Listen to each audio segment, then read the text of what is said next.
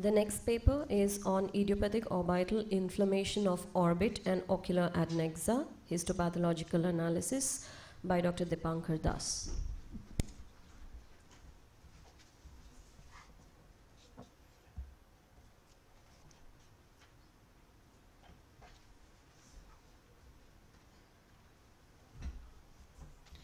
Good morning, respected chairpersons and ladies and gentlemen.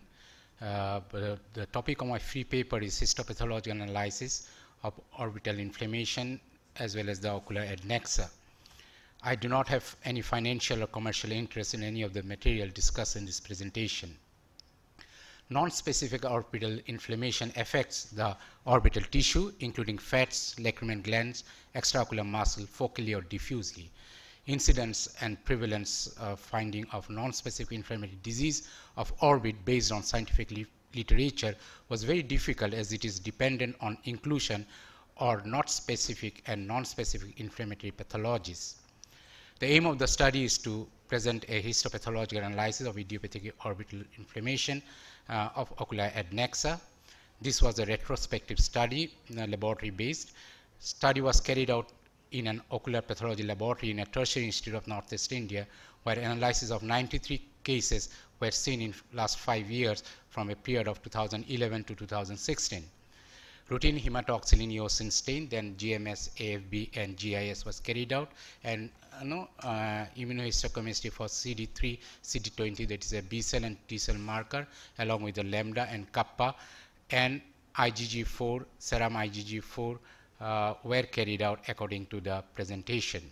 So total uh, 93 cases, 6.64% of non-specific orbital inflammation were reported out of 1,467 specimens.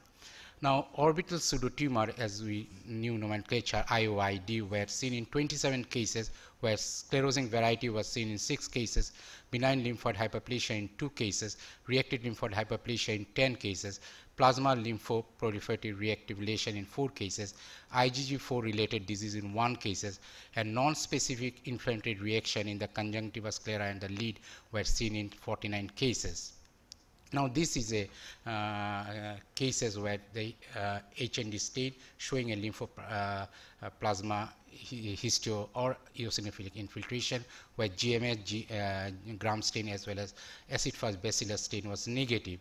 CD20 which is a B cell marker was positive, uh, uh, plus 2 or plus 1, CD3 also positive, CD45 which is LCA leukocyte common antigen was also positive with um, positive and negative of the B cell uh, BCCL uh, and also in one cases IgG4 was positive. Grossly, if you see lesion displayed a grayish white colored tissue and microscopically revealed inflammation in the orbital structure uh, and cellular infiltrates that were focal, multifocal, or diffuse. Pathology of typical non-specific orbital inflammation were characterized by cellular infiltrate, vascular uh, congestion uh, uh, tissue, and altered lacrimal gland tissue and disturbance in the orbital structures. Cellular infiltration showed a mixed cellular response. Perivascular and lymphoplasma uh, histiocytic infiltration were seen along with eosinophils, sometimes tracing the capillary adventitia. The sclerosing pattern were noticed in the periductal tissue in the lacrimal uh, gland and also in the atrophied acini was also seen. So total 93 cases were seen uh, and IOD, IOID uh, was seen in 27 cases. Now, in all the cases, infection, Sjogren disease, thyroid eye disease, rheumatoid arthritis, lymphomas, and uh, GPA, etc., were excluded from the cohort. Now, when we discuss the key, uh, uh, this paper, the Morias and Prada et al. studied 189 cases of non-infectious inflammatory disorder, both specific and non-specific, and found the incidence was 12.8% among the orbital uh, tissue, excluding the thyroid orbitopathy. Pseudotumor in the series or non-specific inflammation were frequently varied in 30 cases, anterior versus in 20 cases, dacryoadenitis in 26 cases, and myositis in 24 case, cases. Our histopathological cases were almost half of the cases of this. Now, if you see the clinical codes of IOID particularly determine how and often the patient encountered the primary antigen and there could be a single exposure or multiple or intermittent exposure if, if the self-antigen is involved, the chronic autoimmune process sets in. To conclude, biopsy supported uh, study on non-specific orbital inflammation was important to know the pattern. Further, larger multicentric studies will, be, will give a better insight on the clinical pathological aspect of the inflammatory orbital disease. These are my selected references. I like to thank our patient in Sri Sankaradeva Nethralaya Oculoplastic Department, uh, Nethralaya Pathology Laboratory, Professor Panna Deka, Apurva, and Saurabh for this presentation. Thank you for patient hearing.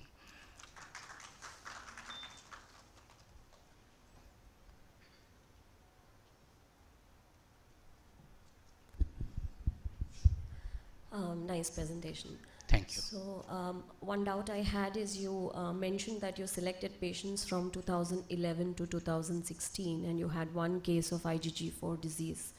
So, were all of these patients from 2011 subjected? How was testing for IgG4 decided? All of these? Uh, IgG4 actually, if the because there is a very new entity that has been described, and some selected cases when IgG4 was known, and one of the cases, you know, we diagnosed a intraocular tumor masqueraded as IgG4 that opened our mind that orbital diseases you know, are also important for this. What you do if you see a IgG4 disease, we see the tissue IgG4 level. And in tissue IgG4 level, along with IgG, if it's more than say 40 percent, along with the serum IgG4 positivity. Serum IgG4 positivity, the specific level we take around 135 milligram per deciliter if it's a high. But most important thing is that the, in the tissue we get a lymphoplasma histiocytic lesion, mostly a plasma cell predominance. And here the both kappa and lambda are positive in this situation with CD138 positivity in that group, if the IgG4 is raised, okay, then we take as a criteria for IgG4 disease. It should represent the tissue IgG4, it should represent serum IgG4, so that way we diagnose. So it's only one case and we believe that you know, for last few, uh, say last year we have seen lot of cases of IgG4 disease. You know, these are mostly seen clinically where multiple organs are involved. Chest, the fibrotic uh, manifestations are there, there's a liver involvement. So extended IgG4 disease that we are encountering nowadays. Yeah, so considering uh, the duration that you have shown, you might have possibly underestimated uh, the IgG4 disease. Was That's my only true. comment. That's true. Exactly. I, I would agree with her that if you go back and look at some of your specimens now, you may you know change your diagnosis for some of them. Yeah, there is a there is a project, uh, both US and uh, India-based project that is being now uh, drafted for a DBT project where all these IgG4 as well as the other orbital inflammatory diseases are taken into account.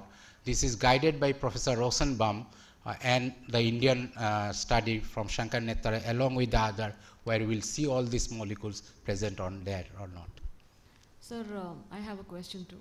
So, did you come across, did you encounter any situation where you actually suspected IOID and then you did a biopsy and it turned out uh, different? And in such cases, what did you actually do? Yeah, that's again an interesting question. If you suspect a IOID case, a, a clinician has no uh, labeled it as pseudotumor, and no in biopsy you see a uh, what you call a monomorphic cell, and you do a uh, CD20 as well as CD3. If you see CD20 is much more, then now you grade them as a a MALT lymphoma or like this. Okay.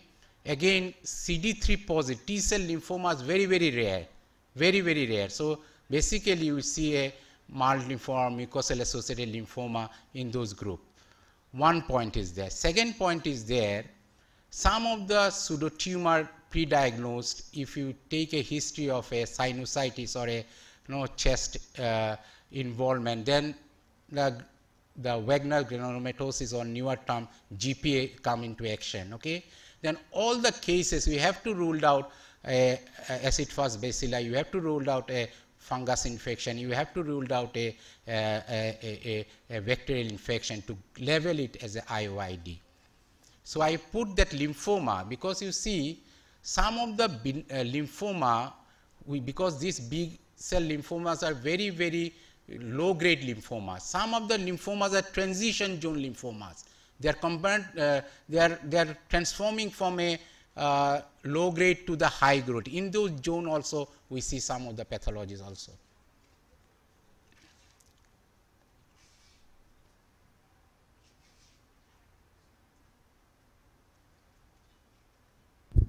So, uh, how, how did you? So, treatment was based on your histopathology, isn't it? So, Yes. in which case treatment was delayed for some patients, or uh, how did it work?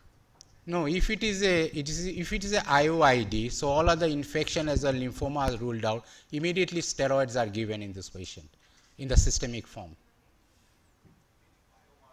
are uh, established to rule out screening, To rule out, to screen the cases. yeah, biomarker. If you see, if you see uh, other biomarkers, if you see this IgG4 is a marker for a IgG4 related disease. For example, uh, there are newer marker that has been tried out, tried out or no, these are in experimental stage. For example, whether a TGF beta can be a marker for inflammation, whether other interleukin can be marker for the inflammation, whether no other cytokines can be marker for inflammation. These are most of them are in the experimental stages.